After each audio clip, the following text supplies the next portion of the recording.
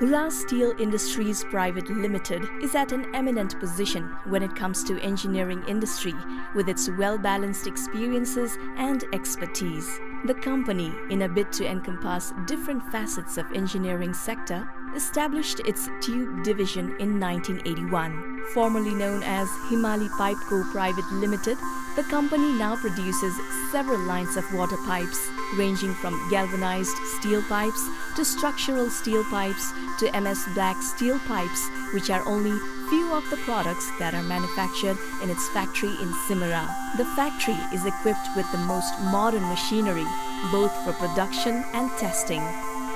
Each pipe is subjected to a specified unit of hydraulic pressure to ensure the welding is strong and free from leakage.